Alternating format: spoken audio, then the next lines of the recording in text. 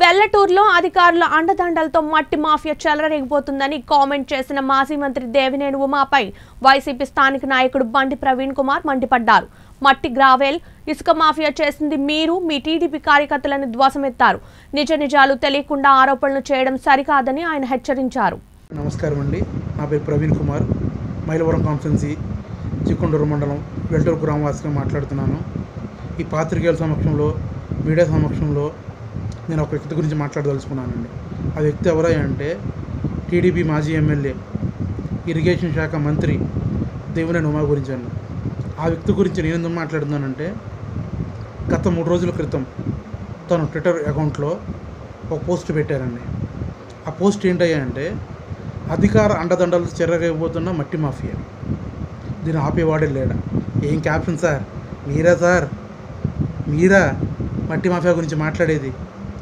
రెండు వేల పద్నాలుగు నుంచి రెండు వేల పంతొమ్మిది వరకు మీ పదవి కాలంలో మీరు ప్రభుత్వాన్ని అడ్డం పెట్టుకొని అధికారులను అడ్డం పెట్టుకొని మీ నాయకులు మీ చెంచాగాళ్ళు మీ కార్యకర్తలు కొంతమంది మీరు కుమ్మక్కయ్యి కొన్ని లక్షల ట్రిప్పులు తోచుకొని తిని ఈ మట్టిలోనే కాక గ్రావెల్లోనూ ఇసుకలోనూ దోచుకున్న తిన్న మీరు ఈరోజు మమ్మల్ని ప్రశ్నిస్తున్నారా?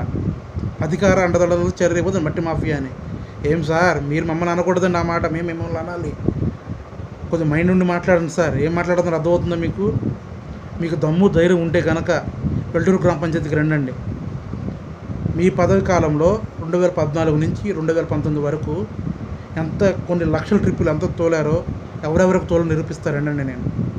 మీకు దమ్ము ధరంటే మీరు నిరూపించండి తోలలేదని. మీకు నిజంగా ఈ స్కామ్ నాకు తెలియదు నా సమక్షంలో జరగలేదని మీరు అనుకుంటే కనుక రండి వెళ్ళరు పంచాయతీ సెంటర్కి రండి. అధికారుల సమక్షంలో ప్రజల సమక్షంలో తెలుసుకుందాం రండి.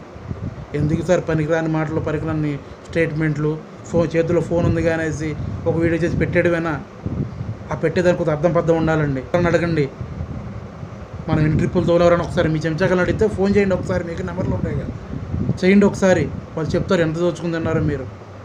మీటింగ్ పెట్టినప్పుడల్లా మా రాణా గురించి గారు మాట్లాడడమే ఏంటి రాణా గారు మూటలు మూటలు తెచ్చుకుంటున్నారా?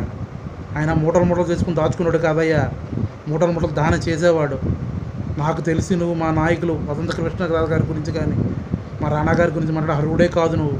ఒళ్ళు జాగ్రత్త నీకు. నోరు అడ్డు అదుపు లేకుండా మాట్లాడ మాకు నువ్వు. నోరు అదుపులో పెట్టుకొని ఒక మాట మాట్లాడు ఏదైనా మాట్లాడేటప్పుడు.